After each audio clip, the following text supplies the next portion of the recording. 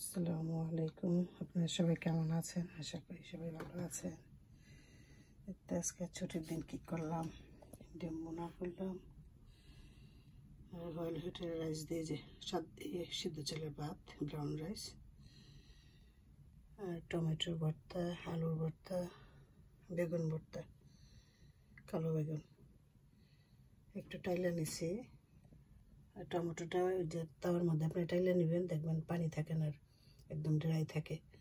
অনেকে দেখি এমনি সিদ্ধ করে তারপর হাতে ডলে একদম ঝোল ঝোল হয়ে যায়।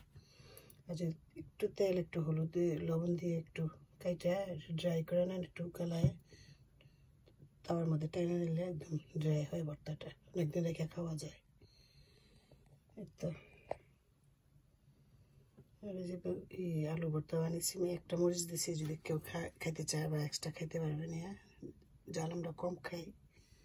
সবগুলির মধ্যে একটা করে মরিচ দিছি, বেশি দেয়নি এতে দইনা পাতা, কাঁচা এ, একটা দিছি আমার গাছের মরিচ, আর একটা শুকনো মরিচ দিছি, টালা, পেঁয়াজ, লবণ, আর কিচ্ছু না। এই তো। তিন পদের ভর্তা, ডিম বোনা, এমনি গরুর মাংস আছে, ওটা খাব না। মাছের তরকারিও আছে।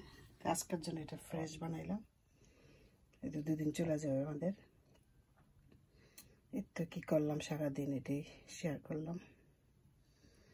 তেমন আহামরি কিছু রাঁধতে নেই। তারপর ভর্তা ভাজি অনেক সময় লাগে এটা করতে। কিন্তু টেস্ট হয়, খাইতেও ভালো লাগে।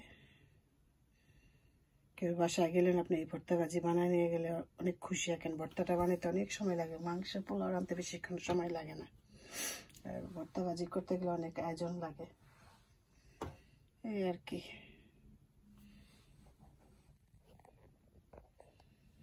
ছুটির দিনে করলাম আর কি, একটু সময় লাগে তো।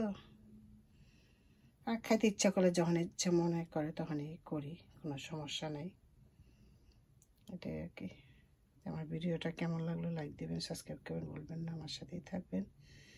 Thank you for watching my video আসসালামু আলাইকুম।